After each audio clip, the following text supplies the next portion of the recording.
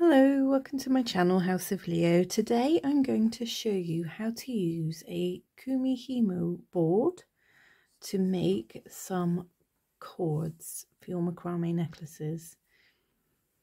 So I have an example here of a large macrame pendant and I have made the cord that it hangs on, this lovely stripy cord, using one of these.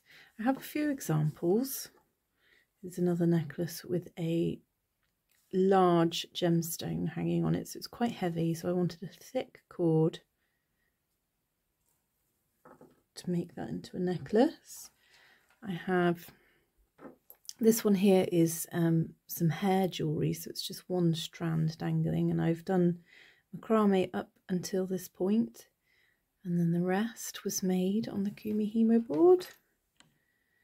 And here I have one that I have made using yarn because you can also use these to make friendship bracelets or simple things. This is a, a craft that children can do as well.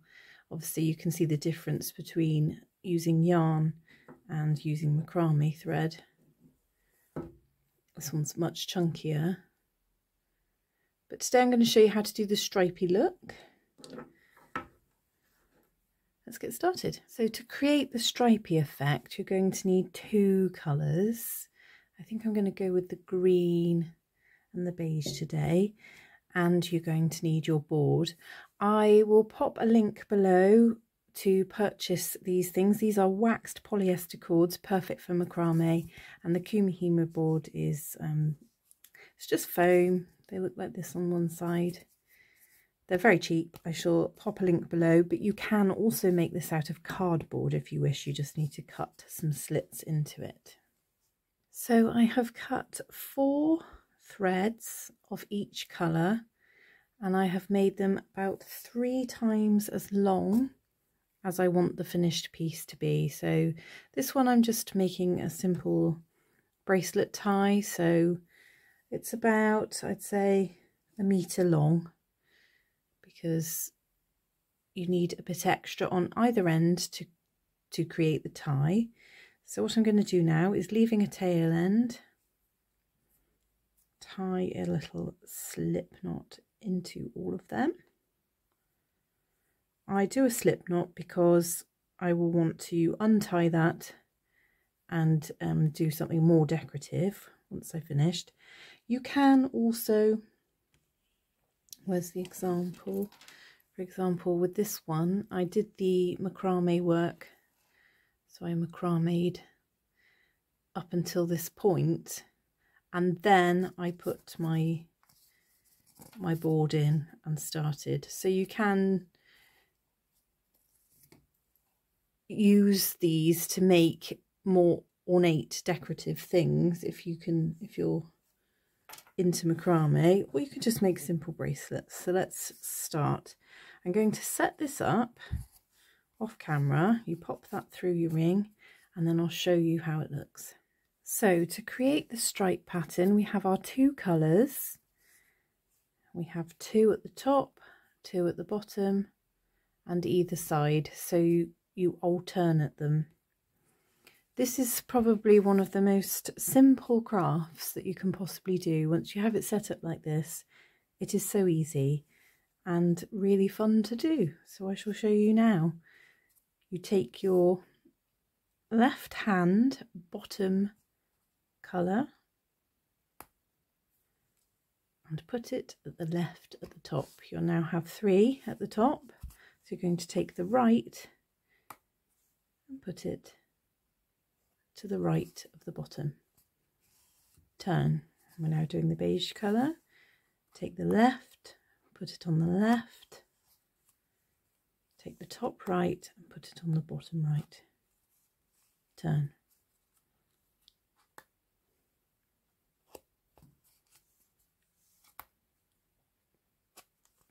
It really is that simple. That is basically it. So you just keep going round and round. It doesn't matter which way you turn it, as long as you're always taking the left from the bottom and putting it on the left of the top and the right from the top and putting it onto the right of the bottom. So I'll do that again a few times. This is one of those crafts that you really can just mindlessly chug along through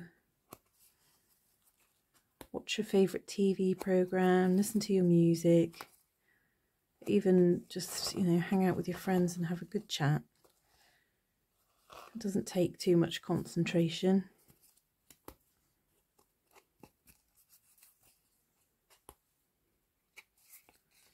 And you will start to pull down in the middle, just keeping it all nice and tight.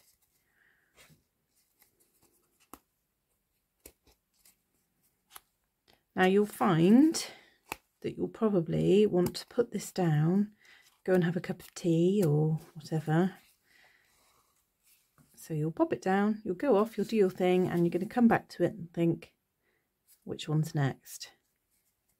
If you look closely, let me pull that down, you will see that the beige ones are going over the green ones, they're on top. That means that it was the beige ones we did last, so it's the green ones to do next. I hope that's clear. So if I do the green ones next, you should be able to see now the green ones are on top. So it wouldn't take long to figure out which one you're supposed to do next if you've popped it down and come back to it.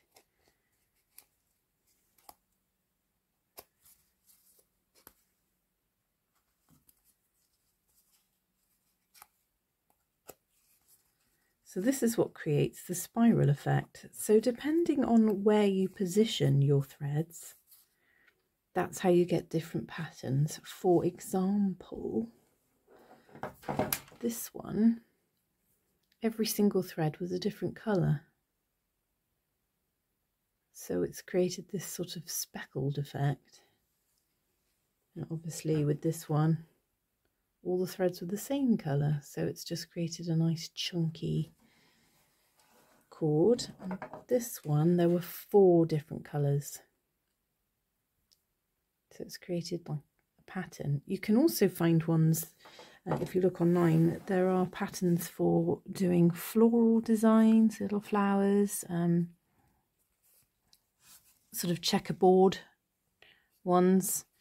So they're really fun to learn and it really is just a case of where you put your string. So we've got the green on top. Go to the top, right down to the right bottom, turn, left to the left top, right to the right bottom. I'm going to do some more of this off camera and come back and show you how it looks as it comes out the bottom there. As you can see, I haven't got very far yet. So I shall be back in a moment. So I've been doing this for about four or five minutes and this is how far I've got with it. So you can see it's not the quickest process in the world, but it's so pretty and so neat. Um, I have the pendant I made in my wrapping a stone video, which I shall link below, which would look perfect hanging from this. It's the right colours, so that's what I'm going to use this one for. So if you do make macrame pendants, this is the perfect way to hang them. I'll show you this one again. So this is a really large chunky stone and it's got a really nice cord. You could do just basic twist cords or simple knot cords, but this for me, I think is, is the way to go. I really like using this for my macrame work.